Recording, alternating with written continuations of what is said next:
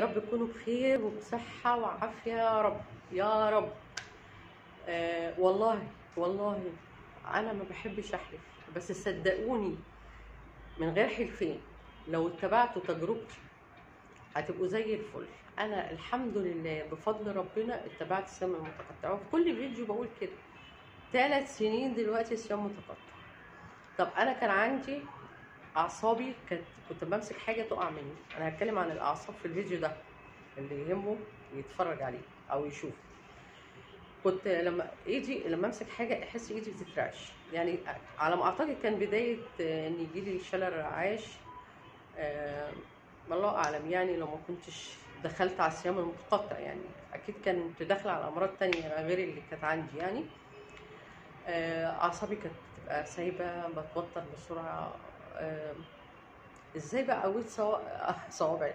قويت؟ اعصابي واتخلصت من التهاب المفاصل. أنا ركبي كانت بتزيق. ما كنتش بقدر اطلع الدور واحد. آه، حالتي كانت سيئة جدا. طب أنا هقول لكم النهارده عن إزاي إزاي تقووا اعصابكم وازاي تتخلصوا من التهابات المفاصل وآلام الظهر. على فكرة أنا كنت عشان أتقلب على ظهري كنت بقوم أقعد عشان أتقلب الناحية التانية. كان ظهري ده كأن فيه كده آه، سيخ. الصيام المتقطع آه، السكريات. قللوها. لو مش قادرين تمنعوها خالص يعني قللوها. قللوا الفاكهة قللوا السكريات على قد ما تقدروا أو تمنعوها. قللوا أكلكم. آه،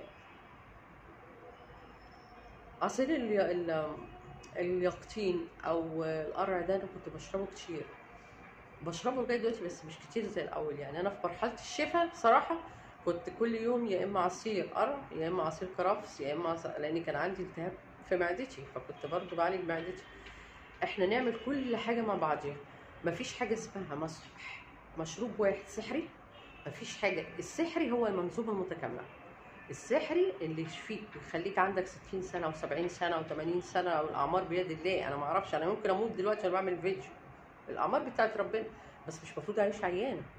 ربنا يحاسبني إن أنا عرفت سبب العلاج و- عاوز تقوي أعصابك.